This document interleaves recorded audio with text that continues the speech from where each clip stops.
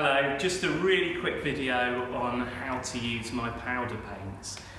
Um, thanks so much for trying them out. I'm going to demonstrate today using the world's pinkest pink because it's my favourite, but it's the same for all the powder colours. I'm going to show you how they work. First of all, what have you got? It's a highly pigmented powder paint. That means you've got a mixture of pigments in here which gives it its vibrancy and colour.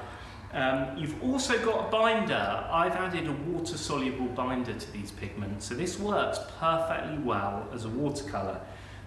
What I would say is if you're going to go on a canvas, canvas has got a bit of give and a bit of bounce, so you might find if you mix this too thick, it could crack. So you want to test that out before you go on a really big, important piece. So get to know this stuff before you make anything that uh, is really important. Anyway, uh, with all that said, let's jump in and I'll show you how you can use it as a water paint first. So the first thing you would do is you'd um, pour out a bit of powder. And the thing you'll find with these fluoro colours is when you add water to them, or in fact any acrylic medium or linseed oil, they start to activate. So mix a little bit in at first. It's a little bit by little bit kind of process. Mix a bit in and um, what you're looking for ultimately is a paste. You want a thick kind of gloopy paste. And the water to paint ratio, I mean it is a small amount of water and a lot of pigment. So you want to get that balance right and that'll give you that thick paste that you really want. You can always dilute it down later. Okay, so um, that's done now.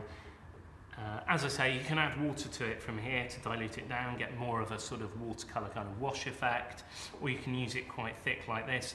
Again, if you're putting it on a flexible surface, I wouldn't recommend using it as a water paint. It could crack or build up lots of uh, quite thin layers. Anyway, um, let's just have a little look at how it goes. There you go. So it's a pretty good super pink uh, water-based paint.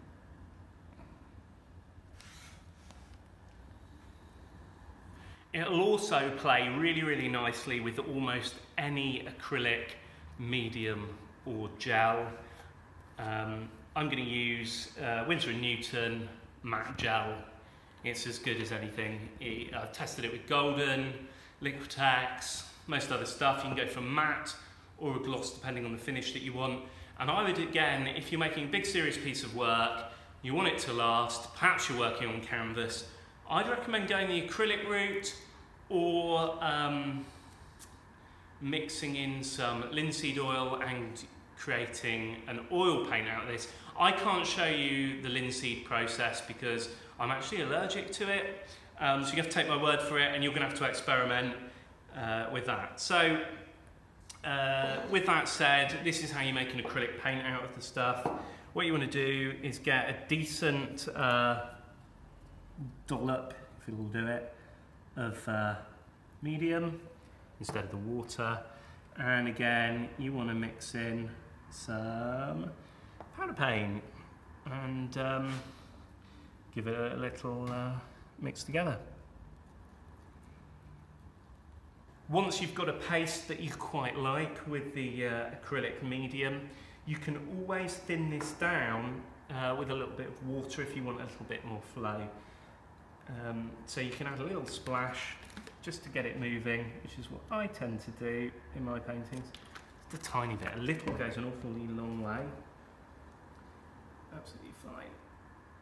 There you go. Mix it in nicely. It's a bit of trial and error, you know, how much pigment do you want, how much medium do you want. And once you find that balance for your own work, um, you'll be off. Okay, so there you have it. A really nice uh, acrylic paint. So there you go. So there you have it. The world's pinkest pink acrylic paint. And this works exactly the same for all my powdered colours. So they can be acrylics, they can be oils, or they can be watercolours. So there you go. Thanks a lot for trying it out. I can't wait to see what you make. The hashtag is share the black. Share what you're up to on Instagram. Thank you very much. See you later.